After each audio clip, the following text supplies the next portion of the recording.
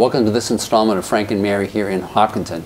Uh, for those of you who haven't seen the show, my name is Art Bergeron. I'm an attorney. I work at uh, Mirick O'Connell, a large firm and the biggest firm outside of Boston. But as a result of that, I get to do nothing but elder law. Uh, I come to the Senior Center. We talk about law issues. this show is not about law. This is about my friends Frank and Mary, whom you may have seen if you've seen any of my presentations. Their goal in life is very simple. They want to live in their house until they die. They want to be buried in the backyard. And if they're living in Hopkinton, they don't want to move to their kids in San Diego and Seattle, and they want to stay right here. So the question is, who are the people you need to know, and what are the programs you need to know about if you want to stay here until you die? Uh, um, and my friend Amy Beck, who, who runs the Senior Center and has been here for quite a while now, right? Yep is the person who knows about all of these, which is why I was so glad that she agreed to, uh, to co-host these shows with me. She's got some great guests today, uh, and we're talking about a program that's already in existence in Hopkinton, and if you've got a loved one um, who may have some memory problems, or if you have some memory problems yourself, you need to know about this. Amy. Hi. So today, um, exactly, we're talking about our Memory Cafe, and we have with us uh, Pat Stradava, who helped found and uh, Memory Cafe here in Hopkinton. It's co-sponsored by the Senior Center and by the Public Library, held at the library um, the second Tuesday of every month. That's right. Um, and then we also have two guests with us who are participants at the cafe. They are caregivers. Um, Tim Higgins is a caregiver for his wife um, Diane, and Lisa Bragdon is a caregiver for her mother Estelle. And they've been um, they're willing to be here today to talk a little bit about their experience and share what they found with our Memory Cafe. Which Thank is you. really great. But by the way, I just want to start by saying so. I talked to Pat one day at one of my, it was legal advice times just a couple of years ago, and we talked about a little about law, but mostly about what can I do? She said, what is the, what is the something that I could do? I, I think you even mentioned at the time, I've heard of these memory cafes, right. but I, right. you just said, you just have to go do it. This is amazing. Mm -hmm. This is a, this is this is this is what powers communities, right? Is people that step up and, and, and you told me you, you know you did this really just as, as a because you you've had some experiences in your own family. Well, right? I was a caregiver for my husband for eight years, and uh, eight I, years. I lived in Michigan, and there weren't memory cafes there at the time. And when I came here and I heard about the memory cafes, I thought, gee, what is this all about? And uh, I had attended one in Shrewsbury at the library there. And I thought it was just great. I mean, a place for, for you to come as a caregiver with the person that you love and you're taking care of who's experiencing dementia. What a great place to come and just be safe and enjoy yourself. Enjoy, enjoy your loved one with yourself and do the things that make you happy. It's not about being there to discuss the disease that you have. It's there to just put that outside the door and just have a joyous time with the one that you love. I thought it was just a great experience, and I thought, gee, you know, what can we do? How can we make this happen here? So, and I know we're going to talk about, the, can you just tell me how you made it happen? That in itself is something. well, how, how I, mean, I made it happen. That's not nothing. That is not nothing. Well, I had right? this idea. First of all, you've been highly paid for all of this. Definitely. I'm sure that's the case, right? Right. Right. No, I do it strictly as a volunteer, but I had the idea, and then, then I gave some consideration to where would a good place be. Would it be the library? Would it be the senior center? Would it be a church facility? And I thought, well, you know, maybe the library, because the library is in the center of town. It's in the middle of community. It's a place where people have been used to going. And so I, uh, I approached the director of the library at that time, and they were in a transition of, of choosing a new director. And um, so uh, I was told to wait until October and then revisit it. So I did. And I went to Amy uh, and Cindy Chesmore, who was the director at the time, mm -hmm. and mm-hmm. also Heather. And uh, I said, gee, you know, could we talk about this? Can we make this happen? And so we got together, some members of the community, um, and, and had a meeting to talk about what a memory cafe is and how could we implement it.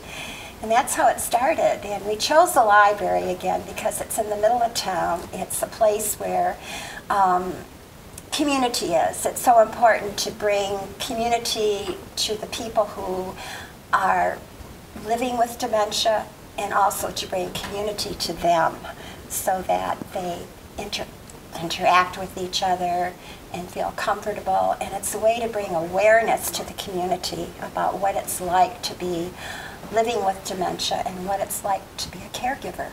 So it's really, Well, no, and I was going to say the nice thing about the library is it takes the stigma off that it's just someone who is older who deals with dementia. There are many people who are younger who deal with dementia or Alzheimer's, and, and it, it kind of breaks that away from it's only a senior issue.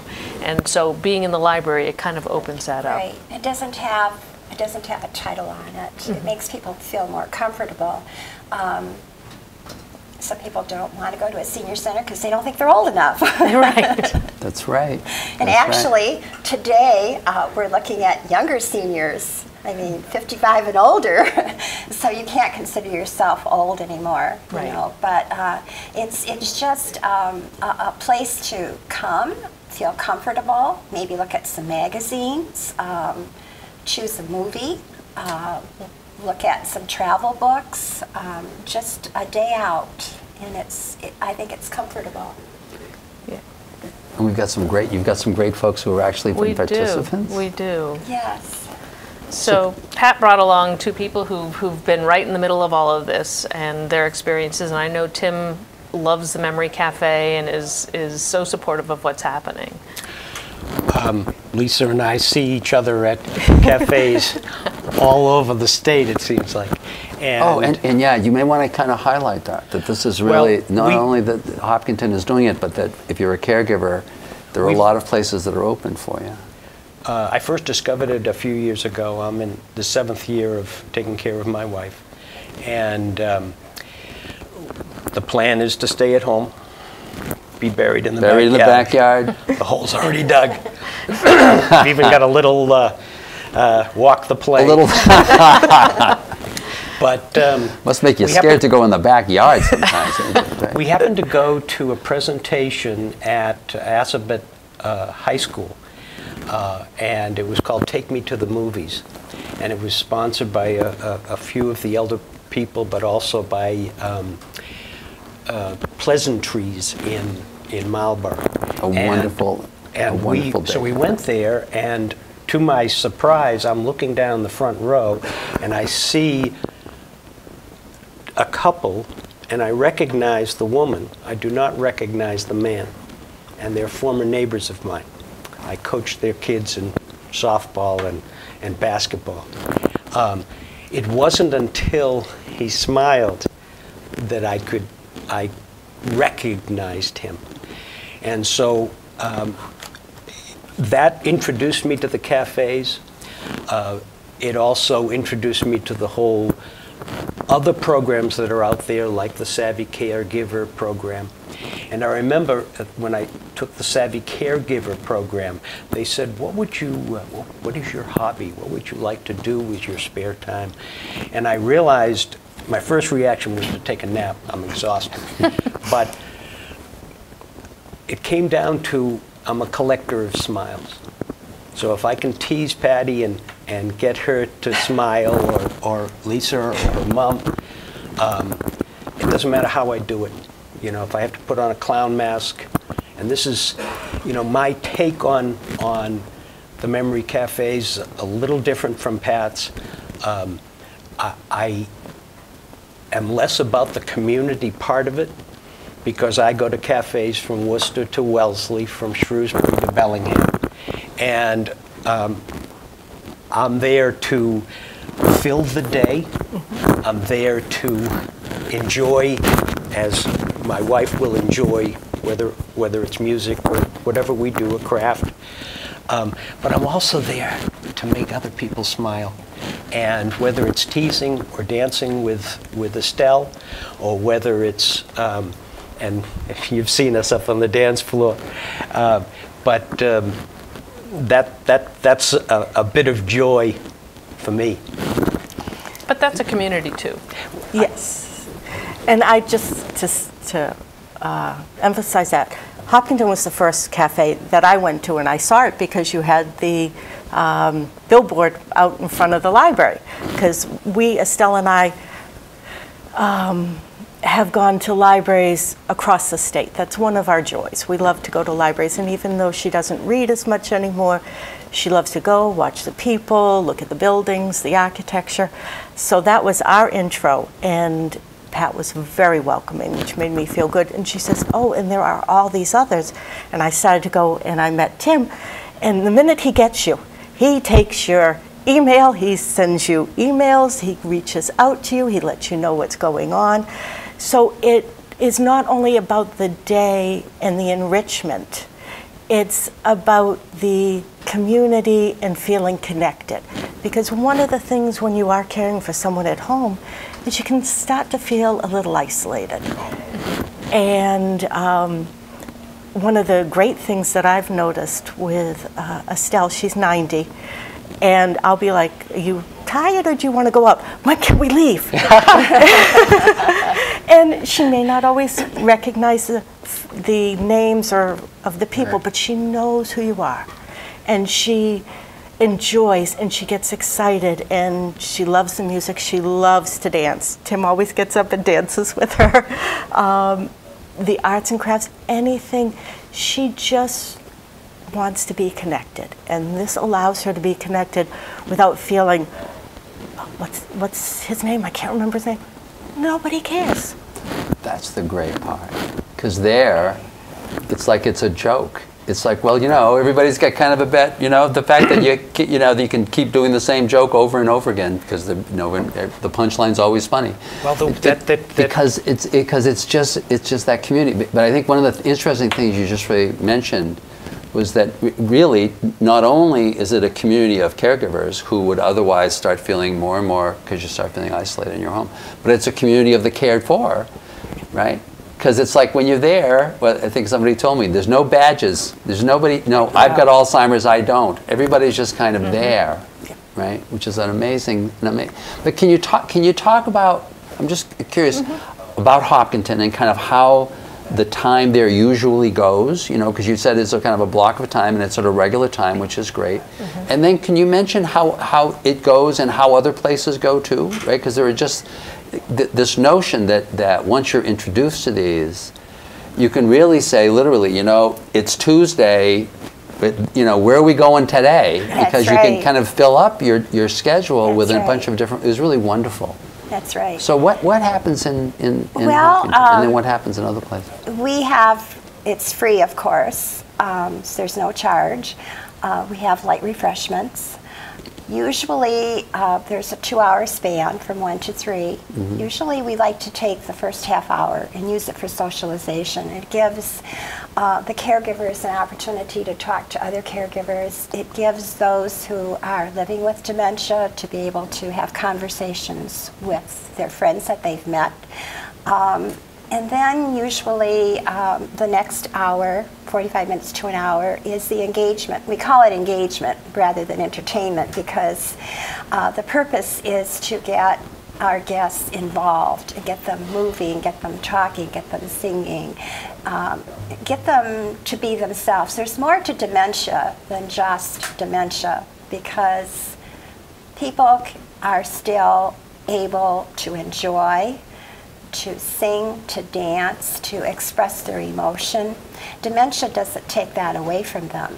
And so um, the engagement is 45 minutes to an hour. It might be art, it might be music. We find that art and music are the two activities that seem to engage the most. Those areas of the brain that are involved with art and music are the last areas to go. Very often you'll find someone who doesn't talk very much. Um, they, they don't say very many words, but they love to dance, they love to sing, and I think that you can you can agree with that with, with your loved one, Diane. Uh, she loves to dance, and she wants to get everybody else up to dance as well. so, uh, so I think that um, that's that's a good thing. Uh, the last half hour again is people talk to each other, make arrangements for where they're going to meet. on Friday or Thursday or next week or next month. And so that's basically how it goes. Um, we enjoy, I, there's nothing that I enjoy more than to see smiles on someone's face because they're having fun. Or someone who, like I said before, doesn't talk very much, but they're able to just express who they are. And I think that's just really great. And to feel totally at home. Uh, totally at You feel home. at home. That's right. It, it, it, And- it gives you a spark, I think, for the rest of the day. It creates a spirit within the caregiver and also the person that they're caring for. And that will last throughout the day and maybe even to the next day. optimism. Uh, my take is a little different, as always, and um, maybe it's the Jesuit upbringing I've got to argue, but uh, I have found that this this disease affects each individual totally differently. That's true. You'll not, yes, if there's a if somebody's 90 years old, they're not as as active as somebody that's younger. But there's my wife will not remember 15 minutes after we've left the cafe. That doesn't mean that wasn't time well spent. Um, we were in Shrewsbury just last week, at uh, and Shrewsbury is a t- terrific town. They do it every week, not once a month. I don't know how they manage, that.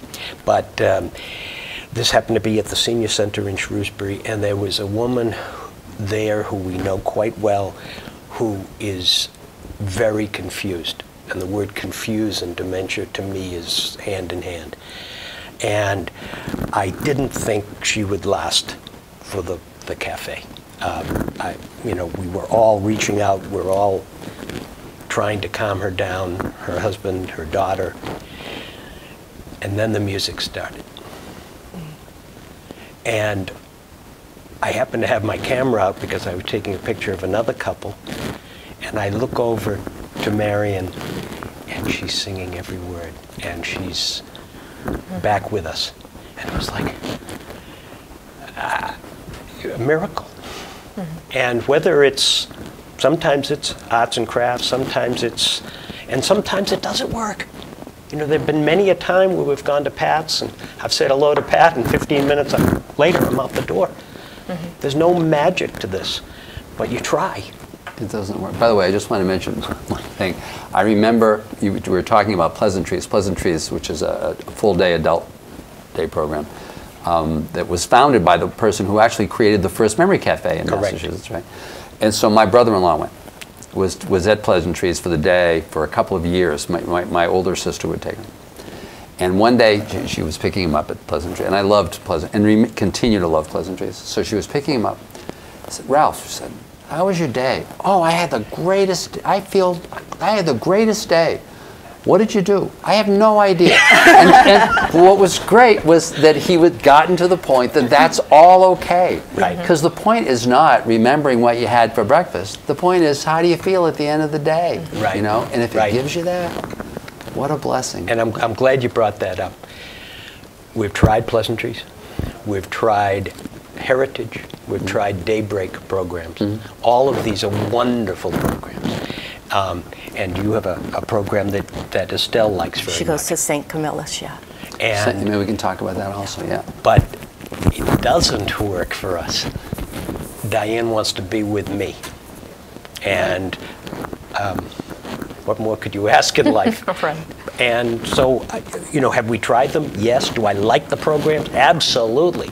And Pleasantries has a cafe coming up on Sunday. Correct? I think so. I'll wait to check your email. Okay. but um, so they are. They're terrific. And Tammy was the one. Tammy, Pazaricki. very good. Tammy Pazaricki. Um, you should be a lawyer. He does bring smiles to you. He does, he does. Right? That's a wonderful gift. Now, have, did, have you found that same kind of what what what what is you, what has Estelle gotten out of this? Um, and kind of looking into the future, is this what you continue to do, or you say you you're also doing stuff at a at a at a full She day goes program? three days a week to an adult day program in Mm-hmm. Whitinsville, which she loves. Um, it's a small program, um, and the cafes definitely. Everyone has its own unique signature. And it, a lot of it has to do with the people that are putting it together. Um, we go to one in Walpole that tends to do more game based, but they're modified games in a way that draws people out without making you feel you have to remember something. Um, they play like music bingo, and that's one of her favorite things. We'll both admit we can't carry a tune, we never have been able to. But we love music. Music is universal. Um, she loves to go dancing. Sometimes when I'm going, if I know Tim's going, I said, Oh, the guy you like to flirt with. And, I, and I, that comes with his wife. I say, It's okay. His wife doesn't mind she knows he's going home with him, with her. But um, yeah, so those are the things she loves to socialize. And for her, these memory cafes have been a godsend. We, she's always been very outgoing. Um, used to be, uh, she founded uh, the first uh, cat club in Massachusetts and used to do shows. So for her, when things were hard, getting harder for her uh, to go to places, and they get overwhelming. It's um, going out to restaurants uh, if they're really big and really noisy. It can be difficult. There's there's a lot to filter through. So this gives her a place where she just she lets loose.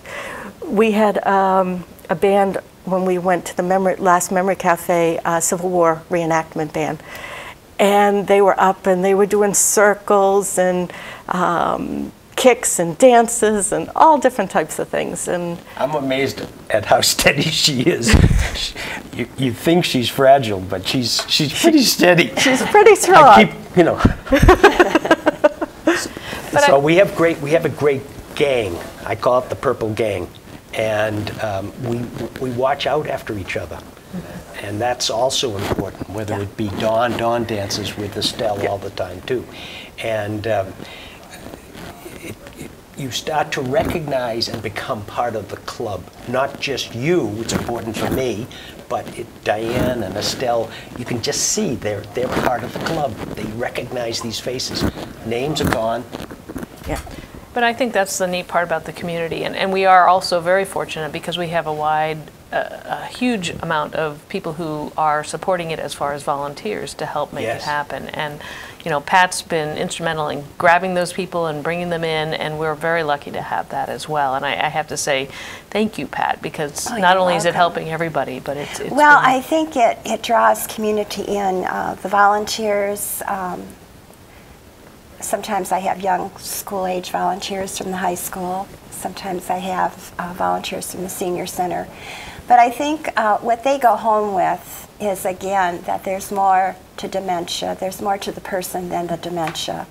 Um, they learn that it's not it's not a stigma. It's like if you if you thought about having cancer, for instance, it's a disease that you live with. With dementia, it's much the same. Uh, dementia can be due to Alzheimer's or Parkinson's or Lewy bodies, but you're living with it, and you continue to live with it. It's it's a chronic disease, really, and so it, it gives the town, the communities, whether it be ours or Southborough or Bellingham, it gives the communities um, the ability to join in, to volunteer. It gives businesses and organizations the ability to contribute if they want to. Um, it, it helps to build a dementia friendly community because you see that this isn't something to be afraid of. It's not an easy life, as I'm sure that Tim and uh, Lisa will attest to. It's not easy to be a caregiver. But to be able to share this with other people and make them aware that it's okay. I mean, this is something that you're living with, And you're not alone. and you're not alone. There are other people that are going through the same thing that you are. And not only are you not alone, but if you're the caregiver, if you're the caregiver, you don't, I think sometimes you don't realize all that you're doing, right? And, and, That's and right. you don't realize what it takes to do that. There are a lot of people who just can't, they've tried and failed to be caregivers. So if, you've been, if you're still standing after doing this for a while, w- you've really done something. And, and you go to the memory cafe and guess what? Everybody in the room has done it. You know, Right. everybody in the room. So, so it's actually you're meeting this this kind of unique subset of the population Mm-hmm. of the whole world of people who have that the combination of the personality and the and the being steady because it's sometimes it is years it can be years right so oh, that That's so for folks who are, and once again i just wanted to emphasize because for folks who are home listening to this you know it's like that's always the message you're not alone Right. right, right. you're not and you can meet people who may be able to help you who can give you some ideas right Exactly. Maybe And- and maybe you'll learn how to dance again. You know, sing, sing some songs. Maybe you sure. get, maybe your voice will get I'm better. not, I'm not Maybe sure get about you. I've seen better. you. Oh, I'm dance. terrible. But you know, I, I not going to show this other than to say these are my new friends. These are the these are this is my gang. When I make up a this happens to be a book on on memory cafes, and this was a Diane's 70th birthday party. You can show them the cover that because everyone's on there. It's okay. Yeah, and this is show, show that cover because maybe they can get a they- maybe they can get a close up. But um, these are my these are my friends. Easy. Do we still have old friends?